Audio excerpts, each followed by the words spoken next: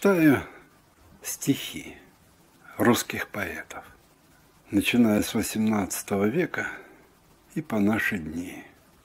Упор делаю на региональных поэтов, знакомых, незнакомых. Всегда хочется и почитать, и, наверное, и послушать хорошие стихи, о которых вы даже не знали. Слушайте.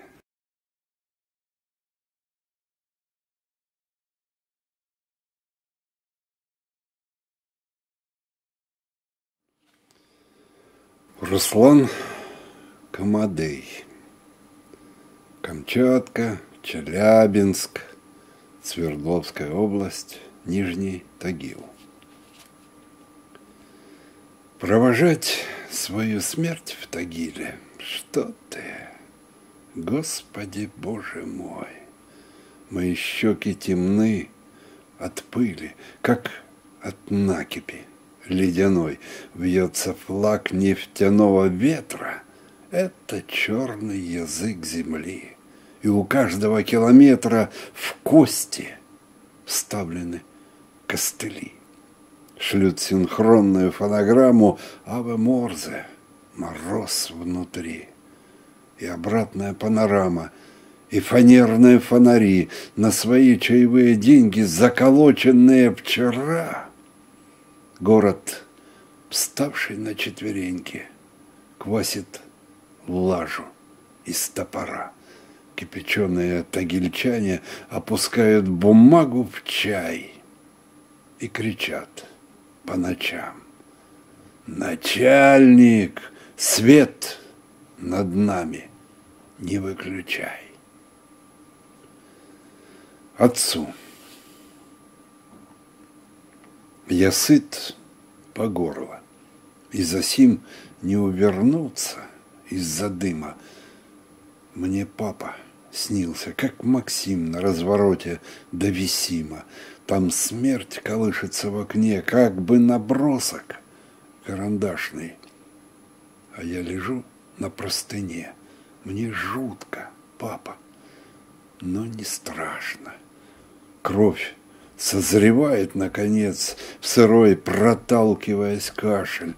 Смотри, я вырасту, отец, а ты уже не будешь старше, не засыпай, я сам усну.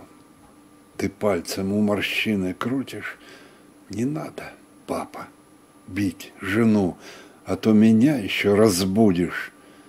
Твой взгляд становится косым ты в омут валишься, как на пол.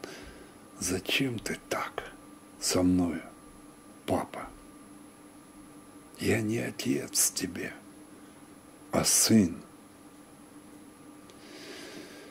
Над пропастью не ржи, но молча дуй на ветер по крышке, как коржи всю ночь пылят в кювете в расширенных зрачках окольного проема идут на кулачках.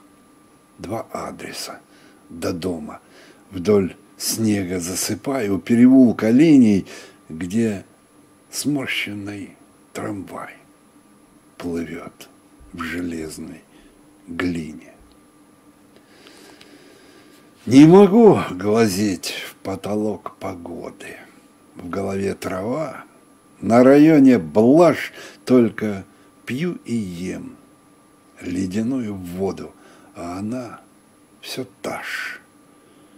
Огород кругом, на ограде сырость, пахнет мелом снег, а во рту травой. И в кого такой непутевый вырос отпечаток мой?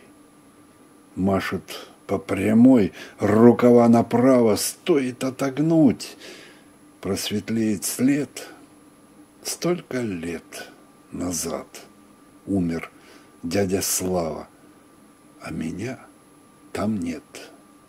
На столе слова вышивают память и не просто так, а крестом с крестом. И трава с могил никуда не канет. Ты нарежь ее и сожги потом.